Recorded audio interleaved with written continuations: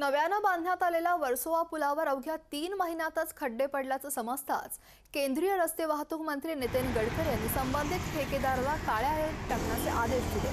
दरम्यान नव्या वर्सोवा पुलावरून आढावा घेतला आमचे प्रतिनिधी संदीप गायकवाड यांनी.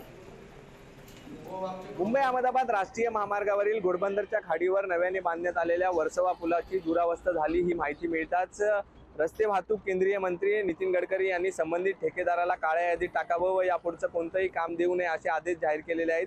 आपण जर बघितलं तर आपण आता त्या ब्रिजवरती उभा आहोत. या ठिकाणी जर बघितलं तर अक्षरशः या ब्रिजची दुरावस्था झालेली आहे.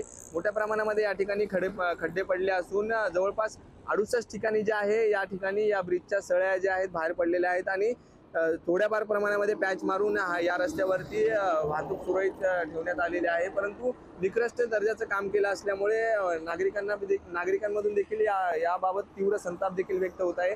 आता केंद्रीय मंत्री नितीन गडकरी यांनी जरी या ठेकेदाराला काळ्या यादी टाकण्याचा आदेश जरी दिले असले तरी संबंधित ठे ठेकेदारावरती गुन्हा दाखल करावा निकृष्ट दर्जाची याची सखोल चौकशी व्हावी अशी मागणी देखील आता स सर्वसामान्य वाहनधारकांमधून केल्या जात आहे. अशाच पद्धतीने या अहमदा मुंबई अहमदाबाद राष्ट्रीय महामार्गावरती मोठ्या प्रमाणामध्ये खड्डे पडले असल्यामुळे ससूनगर गावातील स्थानिक भूमिपुत्र संघटनेचे अध्यक्ष सुशांत पाटील यांनी याच खड्ड्यांच्या फोटो काढून पर प्रदर्शन भरवलं होतं आणि स- संबंधित प्रशासनाला देखील यामध्ये निमंत्रित केलं होतं. त्यामुळे ज्या आहेत अपघातांच्या घटना देखील मोठ्या प्रमाणामध्ये वाढलेल्या आहेत.